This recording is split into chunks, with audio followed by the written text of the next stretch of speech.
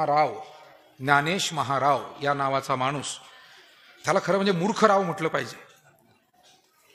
तो म्हणाला की रामाला देव मानतो आपण. त्यानं बायको टाकून दिली असं झालं तसं झालं काही मुद्दे त्यानं मांडले.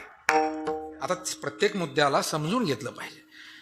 पण आणि रामाला देव कशाला मानायचं?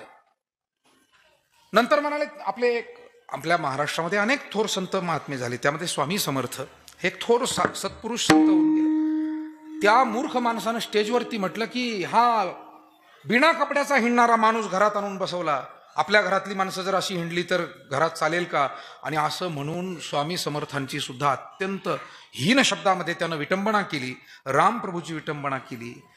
आणि स्वतःला थोर जाणते समजणारे अनेक लोक त्या स्टेजवर बसलेले होते. कोणी त्यावरती काही प्रतिक्रिया दिली नाही. मी म्हणतो ठीक आहे एखाद्याच्या भाषणात तुम्हाला नाही अडवता आलं पण बाहेर येऊन तरी तुम्ही काही प्रतिक्रिया द्यायला पाहिजे होती ना. मीडियासमोर एरवी तुम्ही उठसूट रात्रंदिवस जाता. माणसंही सोडलेले असतात तुम्ही अनेक पक्षांनी मीडियासमोर बोलायला. मग आता येऊन बोलायला पाहिजे होतं ना का? हा रामाचा अपमान करणं चुकीचं नाही. स्वामी समर्थांचा अपमान करणं चुकीचं नाही.